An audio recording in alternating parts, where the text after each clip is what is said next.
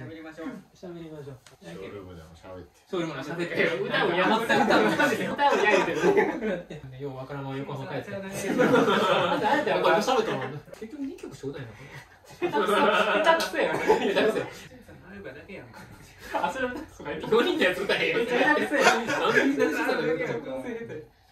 すチョコレートシですショーです道はじめでラムですよろしくお願い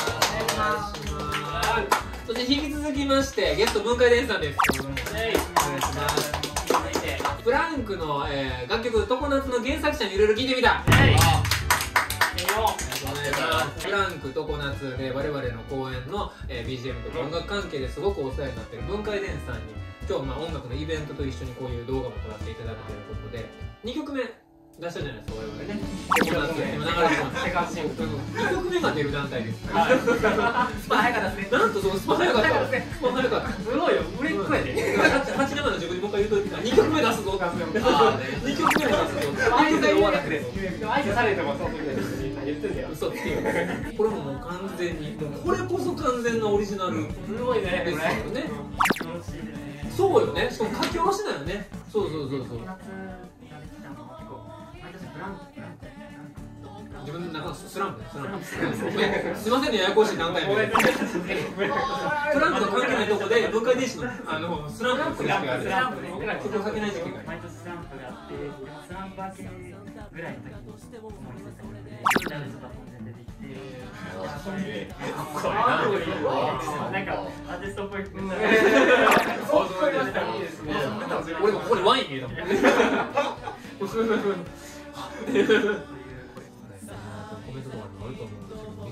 ちゃくちゃ評判が良くて楽曲楽曲としてそもそも楽曲としてもうとにかく普通にいい曲っていうのはもうすごいいろんなとこで言われる。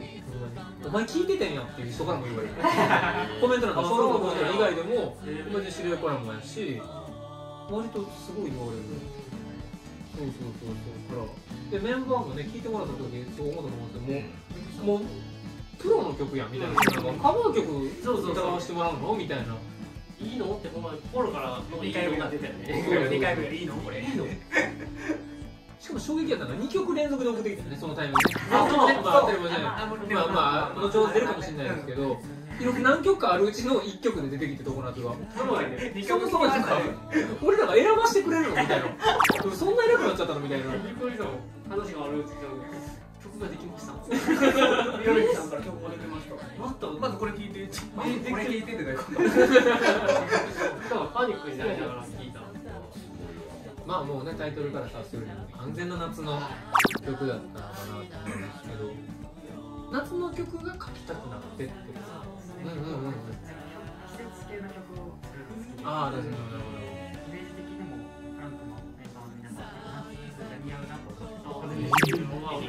まあ、ハマった動画がハマったで好きな動画がねそれこそ夏の動画やったりもするからっていうのもあるのかな。だからフランクのことを考えて作ってくれた歌詞がフランクっていう曲楽曲やと思うんだけど常夏はねなんか俺らが歌ったら良さそうな曲みたいな感じもあるかな最初夏の曲で作り始めたんですけどあこの曲はフランクに提供できそうだなって選択肢の中にあんのが嬉しいねいやいやいやフランクって名前があるんですよちゃんといい曲や歌おうって終わらへんねんな。フランクすいませんなんかええ思わずいいなんで集まってなんかしといてよかったよかった聞いてみた感想聞いいいです。かあのフランク側ねあれってなんかベオジャケとか坂を上がったりとかああいうのって自分の中でそのほんまに待つとこイメージ何かあるんですか？イメージ場所とか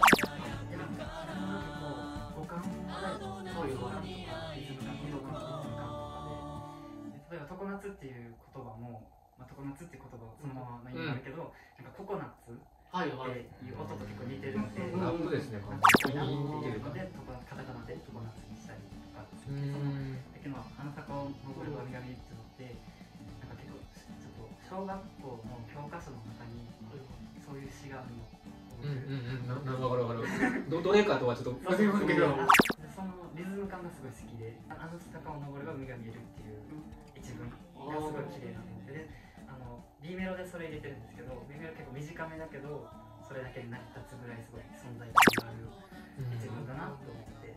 今リアクション見てね分かったと思うんですけどそこまで考えて歌ってないですから あええ曲や。あの曲や。歌おうみたいな。もうそのドライブやってる時に言ってたじゃないですか。スマホを持ったから手ぶらでいいんだよ意味わかるって柳さん聞かれた時あるんですけど。あユッキーが教えてくれたね。そうそうそう。最近のあのわ若い人たちの手ぶらの定義が変わってきたっていう話を。そんな深いんや。みたいなそのスマホを持ったかい手ぶらでいいんだよっていう歌詞があるんですよね。でももうめちゃくちゃもう厳密に言っちゃうと手ぶらって言ってるのにスマホっていうのはなんでなんやろっていうのがあって。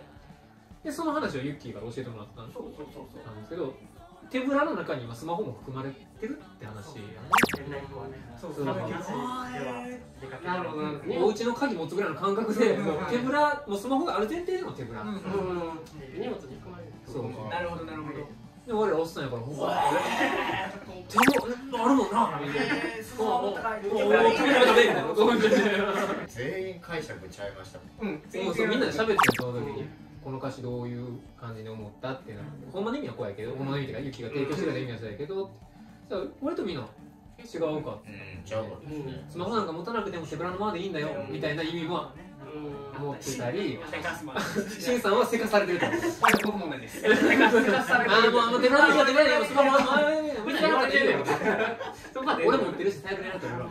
生活っていうのも結構て。てああんねや海に行こうぜみたいな気持ちが。あ正解や合ってる言い方だけの違いで早く行って遊ぼうよっつって最高って言ってるけどあのスマホをちゃんと持っていかないと困るからっていうああ面白いな面白いこれでも聞いてくれたら視聴者の方にも聞きたいねあのどういう気持ちできどういう意味で捉えてくれたのかっていうのも解釈はもう人それぞれでいいですよね広がりますよねめちゃめちゃ王道の夏の曲みたいな。そうですなんかこうみんなでワイワイ歌える夏の歌っていうのを作りたくて。うんうんうんうん。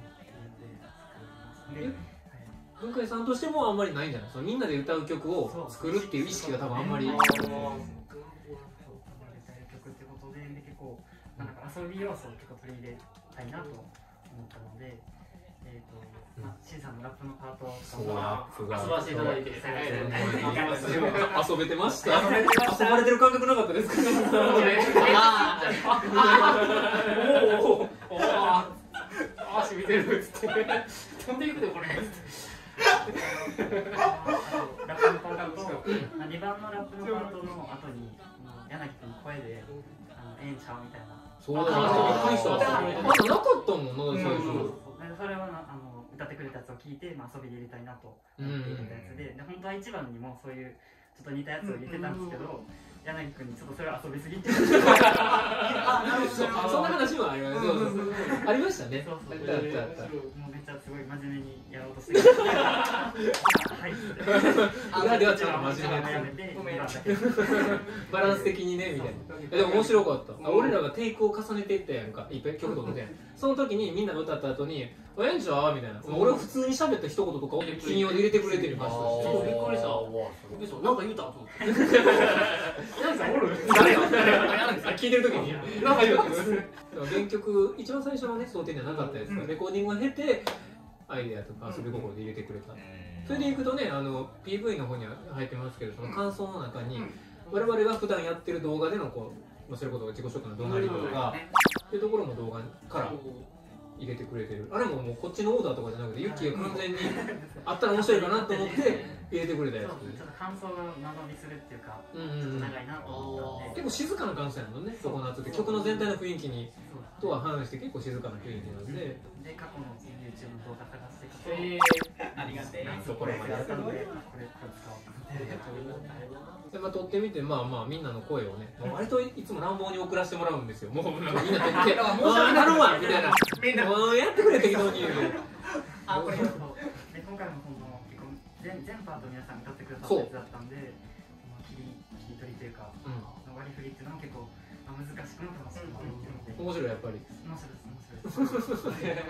自分なりに結構ハマったなって思ったのがこの翔くんのパートでスマホを持ったかいっていうところゆみちゃんと分かってなかったんですえーいやよでもドライブ行くまではあその声質がすごい優しいのでそ優しく話しかけてる感じっていうのがすごいめっちゃいいって個人的に LINE まで本当ですか僕めっちゃいいっつって。や柳くんとミッチーさんはもうユニゾンがすごいあのハマるっていうダブルやなんか相性がいいねんて。へー。相性いいんや高い音と。低い音これから二人でやっていいねええよごめんな俺と翔くんでララップだけやってくれラップと工程だけしてもらっていいんだよいいんだよいいんだよプランクをやあの、うんうん曲前回のプランクの曲やった時にそれをすごい感じて、うんあそうなんや二人の存在感がすごいなっていうのがあったんで、うん今回常夏やる時はその二人の存在感もキープしつつ二人の店番もあ二人っていうか審査の店番も入れたいなっていう感じで組みました。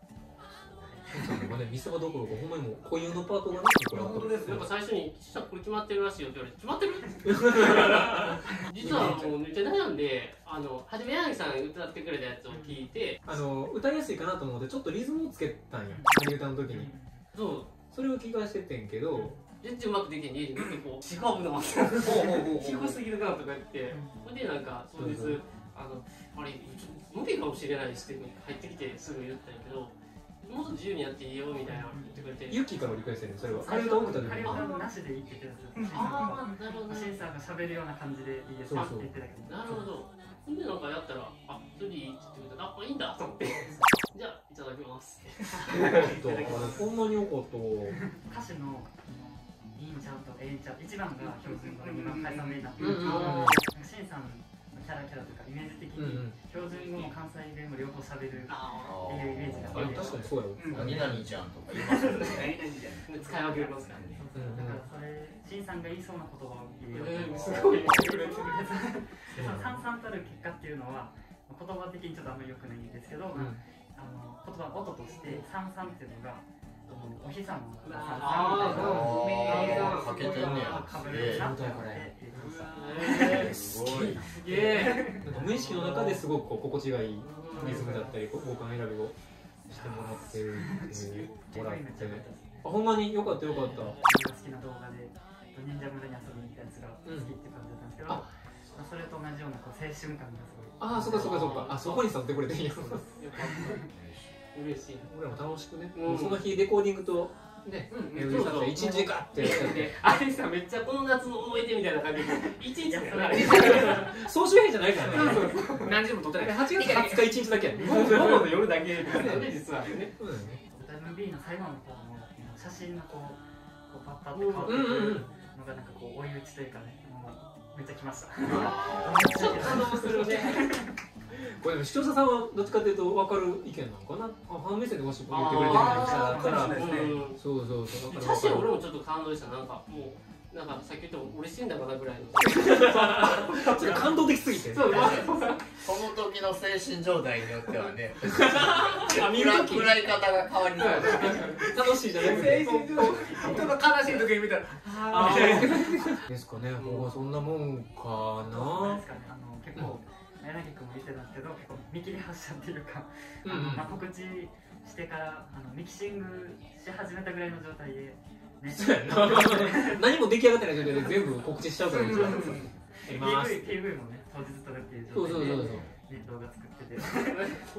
勢いが。でもでもそれそういうぐらい気持ちが嬉しかった。